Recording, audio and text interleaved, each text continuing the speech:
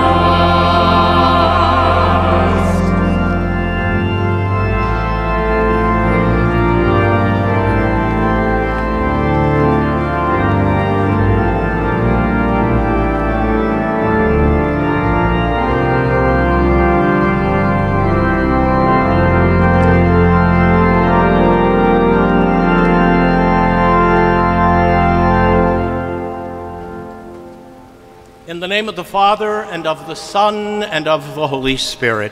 Amen. Peace be with you.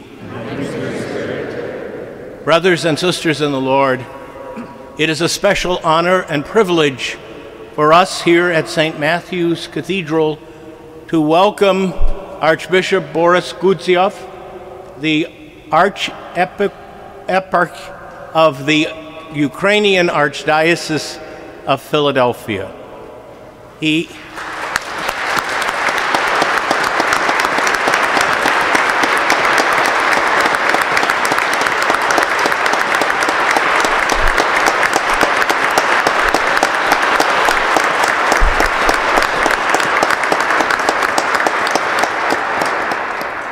Archbishop Borys is a very dear friend, and in his presence, we have the presence of our Ukrainian brothers and sisters, especially those who are facing such violence at this moment. Let us pray. Grant, O Lord, that we may begin with holy fasting this campaign of Christian service, so that as we take up battle against spiritual evils, we may be armed with weapons of self restraint. Through our Lord Jesus Christ, your Son, who lives and reigns with you in the unity of the Holy Spirit, God, forever and ever.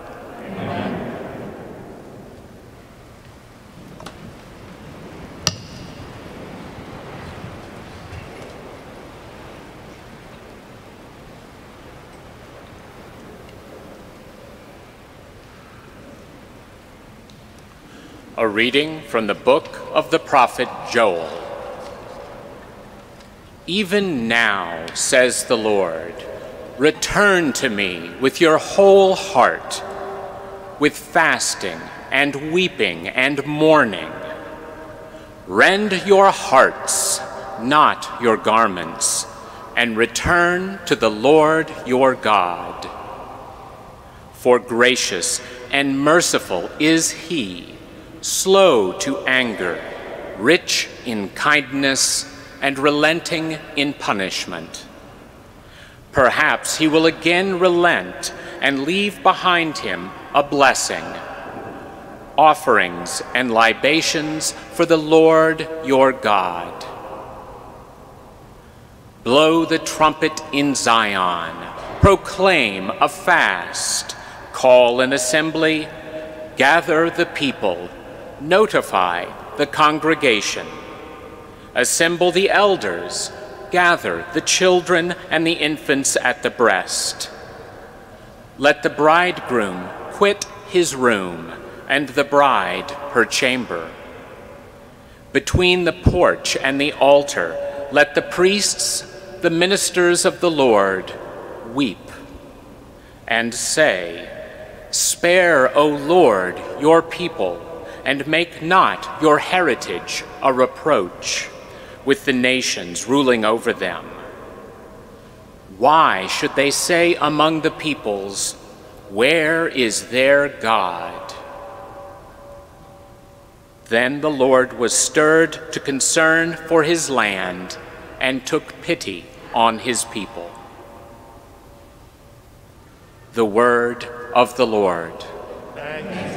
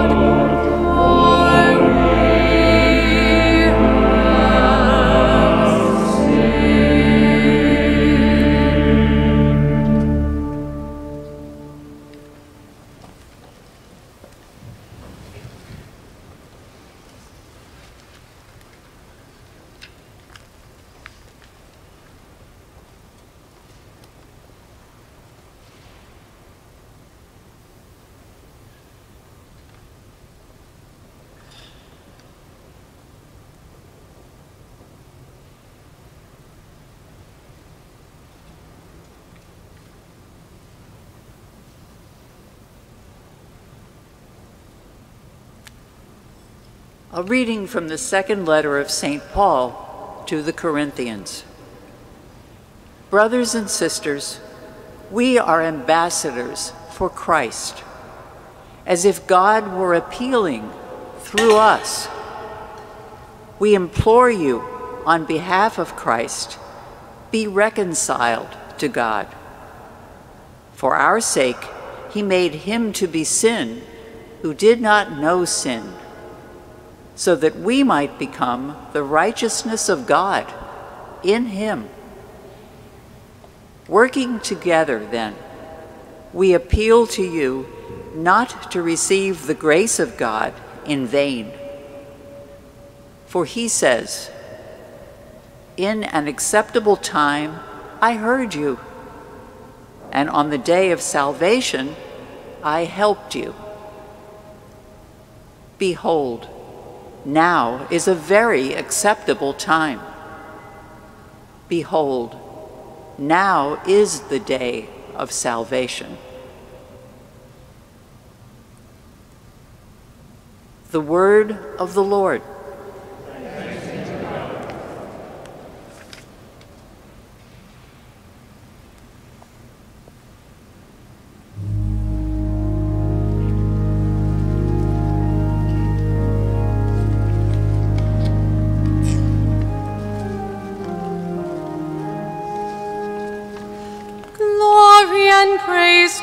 You,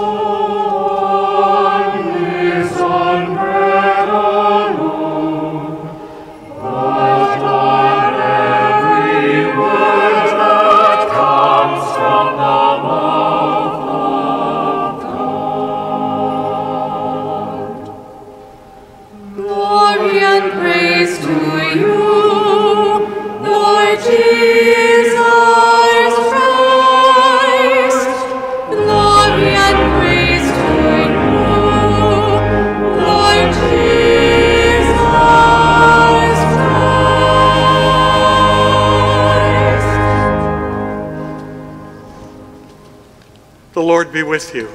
With your spirit. A reading from the Holy Gospel according to Matthew. Glory to you, Lord. Jesus said to his disciples, Take care not to perform righteous deeds in order that people may see them. Otherwise, you will have no recompense from your heavenly Father. When you give alms, do not blow a trumpet before you as the hypocrites do in the synagogues and in the streets to win the praise of others. Amen. I say to you, they have received their reward. But when you give alms, do not let your left hand know what your right hand is doing, so that your almsgiving may be in secret. And your Father, who sees in secret, will repay you.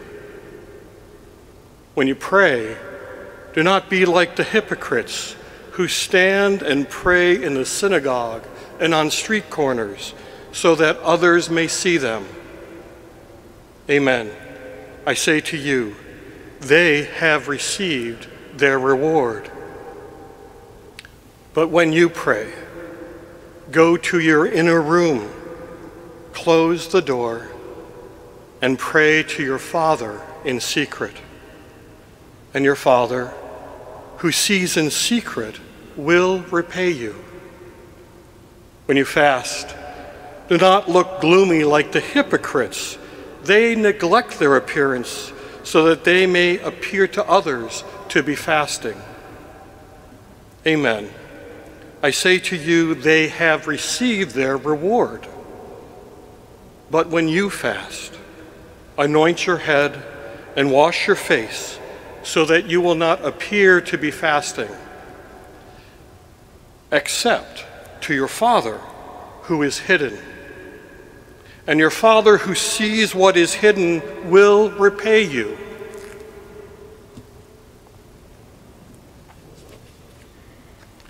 The Gospel of the Lord.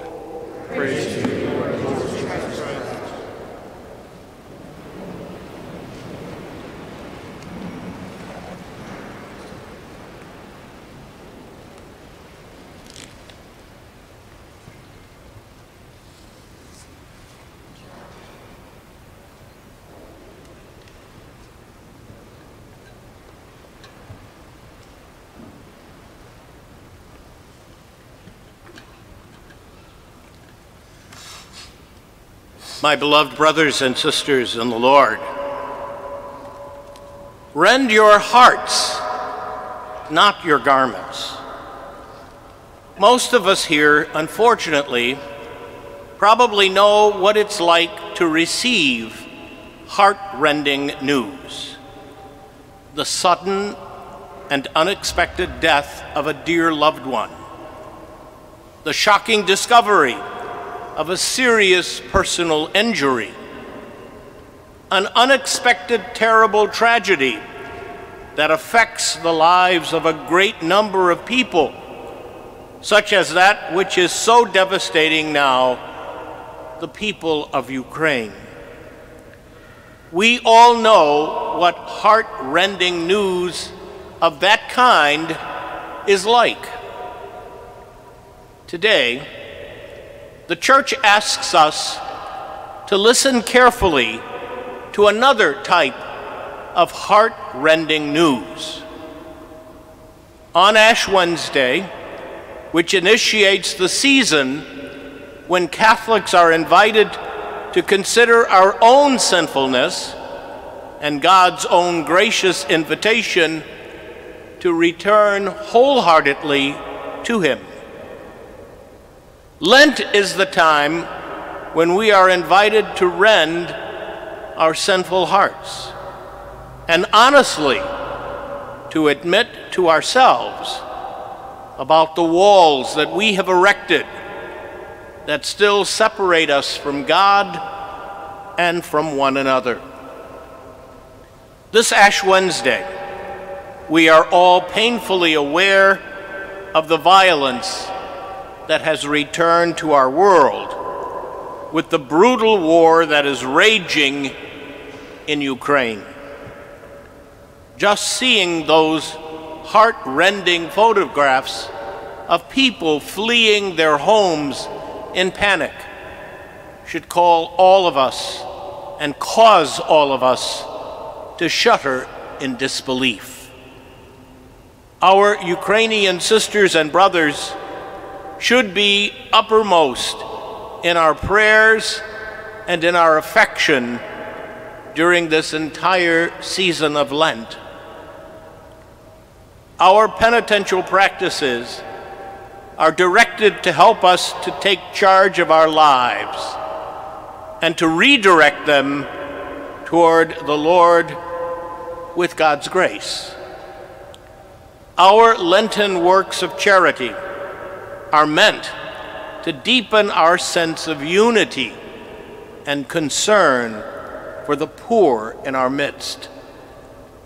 Our Lenten prayer is yet another opportunity for us to come to understand better our own hearts and how much we still need the Lord in our lives today. Rend your hearts, not your garments. Some garments can be very expensive, but our hearts can be repaired. Lent is a time to consider important matters our relationship with the Lord and our relationship with one another. I hope that this heart rending news will better prepare us to celebrate the Easter glory of the risen Christ, when all hearts will be made perfect and will be made new. May Lent 2022 be a season of grace for you and for all of your loved ones, beginning today and lasting throughout the entire season of Lent.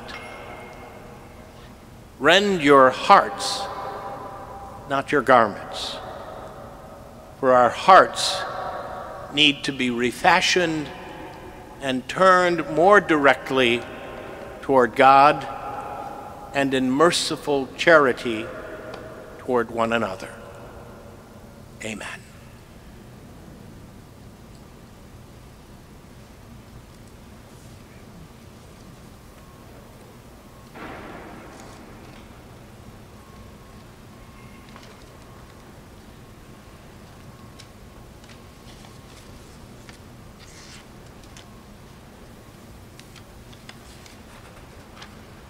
My dearest brothers and sisters, let us humbly ask God our Father that He be pleased to bless with the abundance of His grace these ashes which we will put on our foreheads in penitence.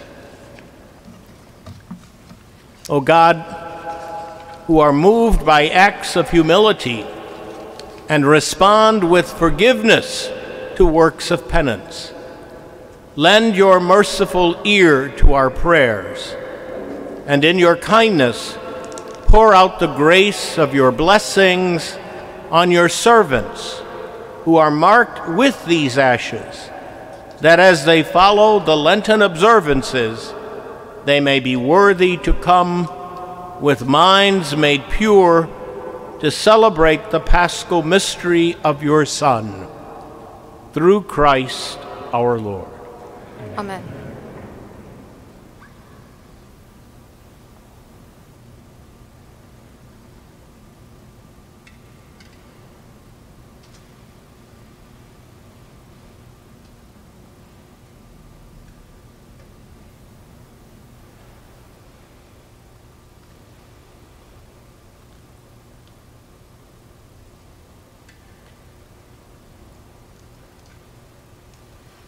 Ashes will be distributed by sprinkling over the head, following an ancient practice of the Church that is still the custom in many parts of the world.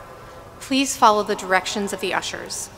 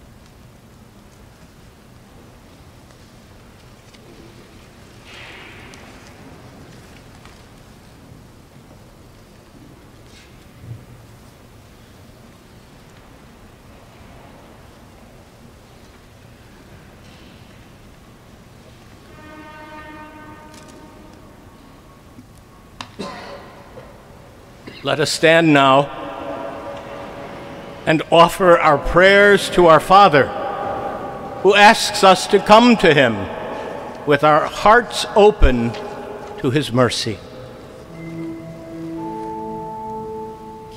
That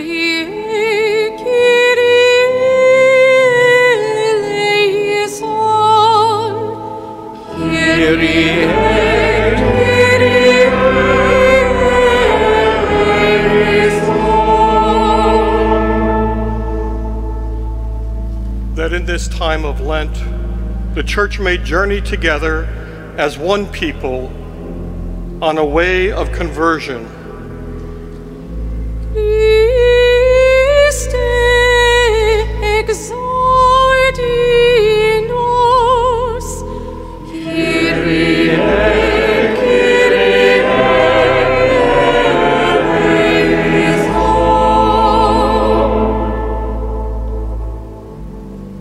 Peace may triumph over war in Ukraine and throughout the world.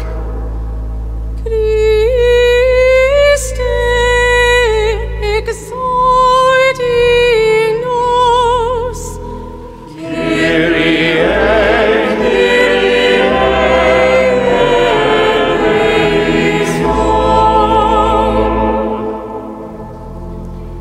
that the sick may be healed and the faithfully departed welcomed into the loving embrace of the Father. Christe exaudi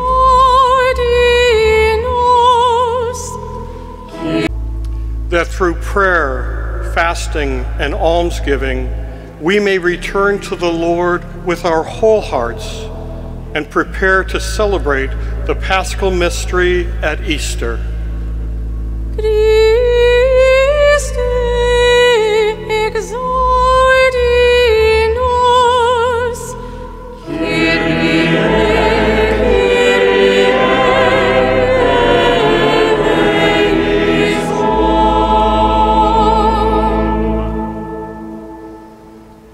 God of mercy and compassion, hear your people's prayer, and may these days prepare us for the resurrection of your Son, who is Lord forever and ever. Amen. Please remember that the mission of the cathedral depends on your generous support by way of collection baskets or online through Faith Direct.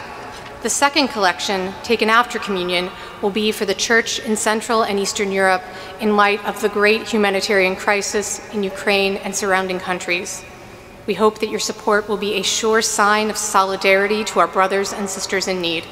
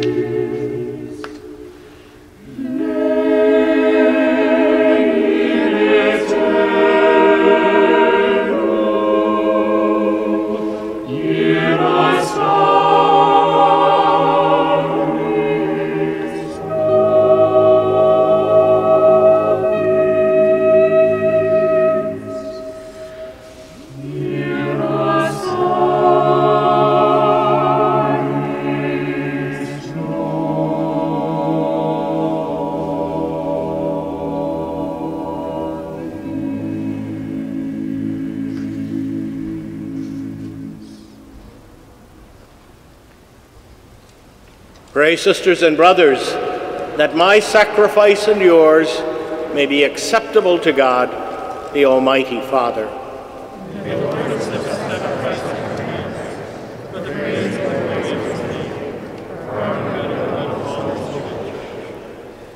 As we solemnly offer the annual sacrifice for the beginning of Lent, we entreat you, O Lord, that through works of penance and charity we may turn away from harmful pleasures and cleanse from our sins may be, become worthy to celebrate devoutly the passion of your Son, who lives and reigns forever and ever.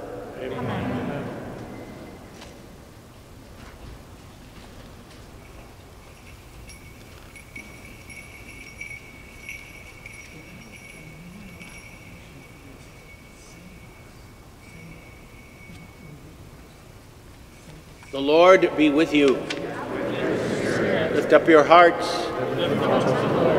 Let us give thanks to the Lord our God.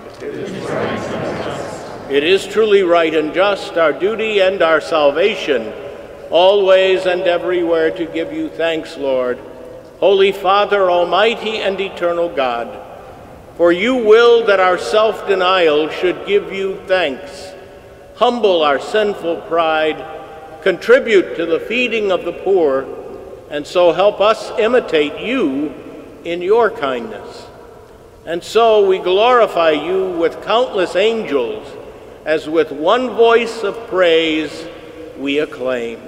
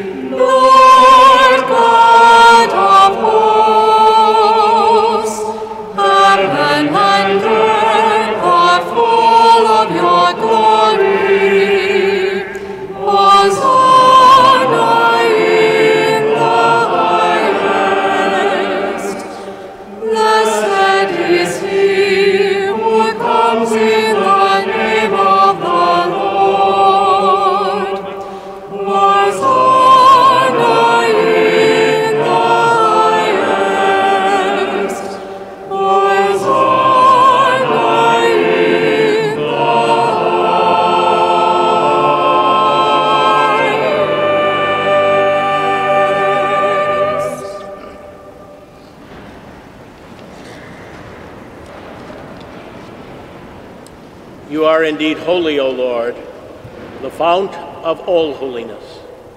Make holy, therefore, these gifts, we pray, by sending them down, by sending down your Spirit upon them like the dewfall, so that they may become for us the body and blood of our Lord Jesus Christ.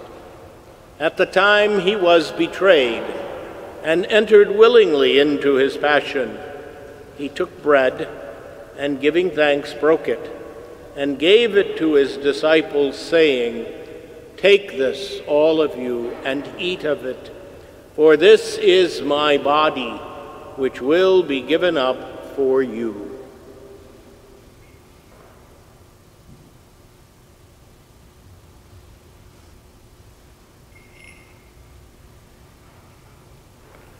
In a similar way, when supper was ended, he took the chalice and once more, giving thanks, he gave it to his disciples, saying, Take this, all of you, and drink from it, for this is the chalice of my blood, the blood of the new and eternal covenant, which will be poured out for you and for many for the forgiveness of sins. Do this in memory of me.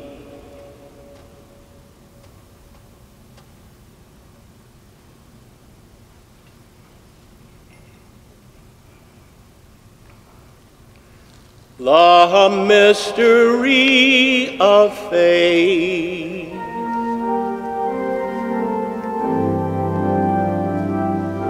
Save us, Savior of the world, for by your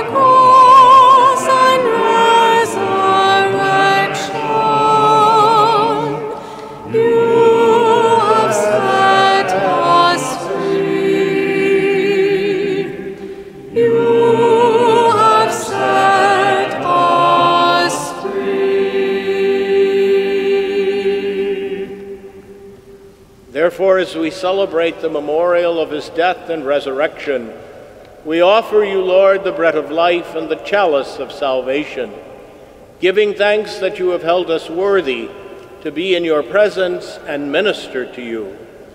Humbly we pray that partaking of the body and blood of Christ, we may be gathered into one by the Holy Spirit. Remember, Lord, your church spread throughout the world and bring her to the fullness of charity, together with Francis, our Pope, and Wilton, our Bishop, and all the clergy.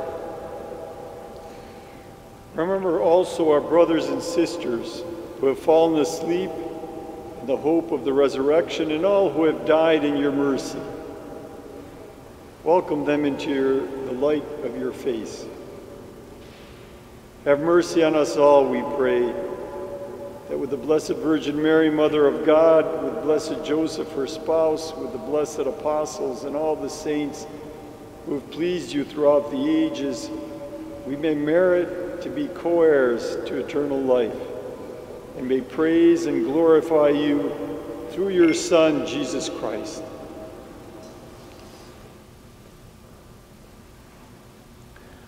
Through him, and with him, and in him, O God, Almighty Father, in the unity of the Holy Spirit, all glory and honor is yours forever and ever.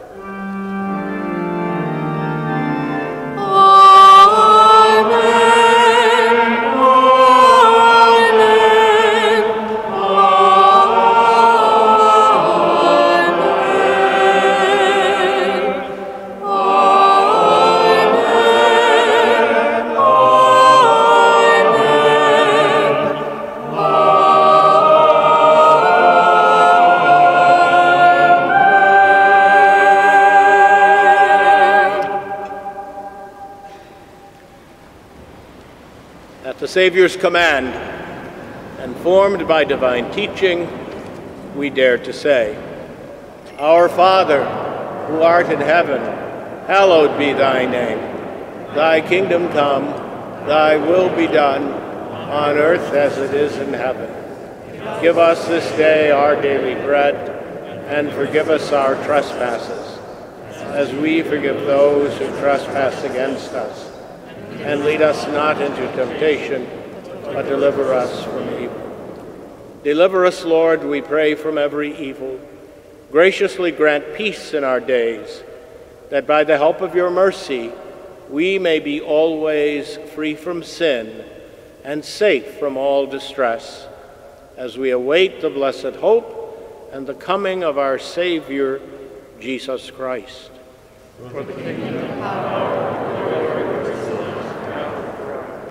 Lord Jesus Christ, who said to your apostles, Peace I leave you, my peace I give you.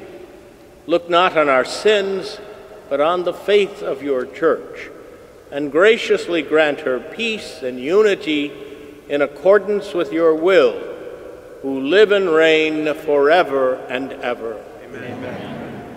The peace of the Lord be with you always. And with your spirit. Let us offer each other a sign of peace.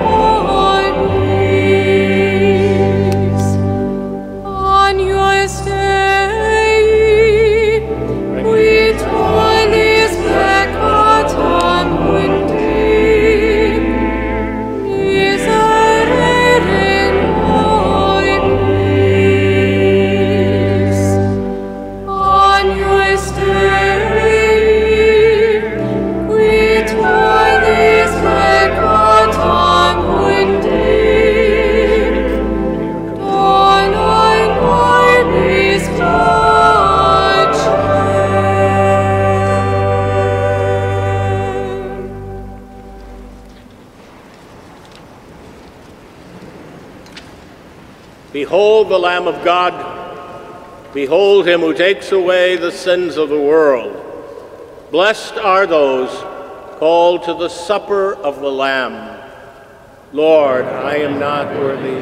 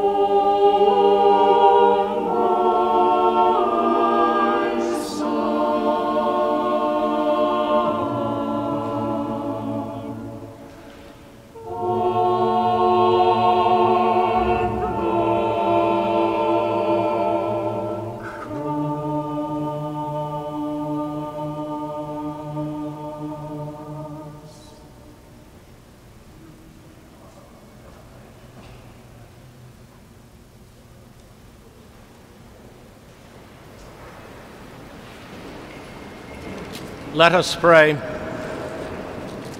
May the sacrament we have received sustain us, O Lord, that our Lenten fast may be pleasing to you and be for us a healing remedy. Through Christ our Lord.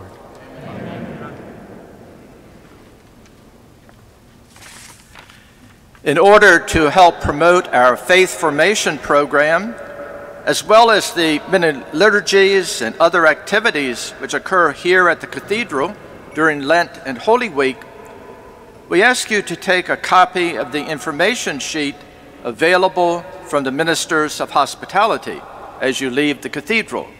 In fact, you may want to take a few more for your co workers.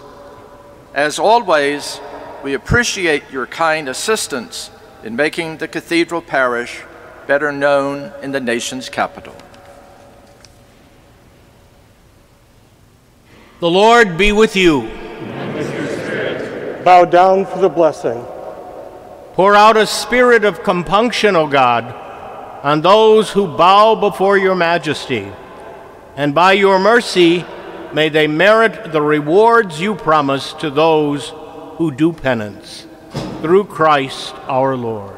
Amen. And may Almighty God bless you, the Father, and the Son, and the Holy Spirit. Amen. Go in peace. Thanks be to God.